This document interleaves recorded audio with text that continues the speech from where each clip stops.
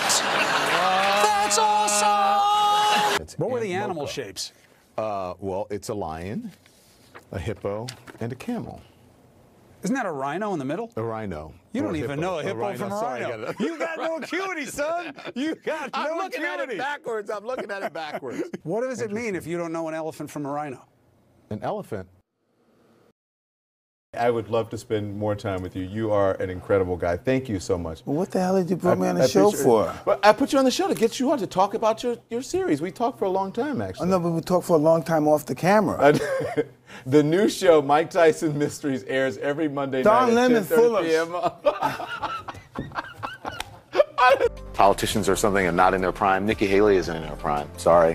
When a woman is considered to be in her prime in her 20s and 30s and maybe 40s. What are you that's not talking- accor- wait. I- that's not according to me. Prime don't- for what? Uh, it- it depends. I mean, it's just like prime. If you look it up, it'll. If you look, if you Google when is a woman in her prime, it'll say 20s, 30s, and 40s. A to a woman's prime this morning was inartful and irrelevant, as colleagues and loved ones have pointed out, and I regret it. A woman's age doesn't define her either personally or professionally. I have countless women in my life who prove that every day. What is it about President Obama that really gets under your skin? Is it because he's smarter than you? Better educated? Made it on his own? credulous boomer Rube demo that backs Donald Trump um, that, that wants to think that, that, that Donald Trump's a smart one and they're y'all, y'all, y'all elitists are dumb.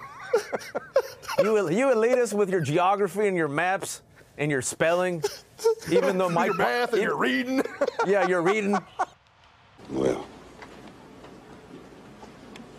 bye.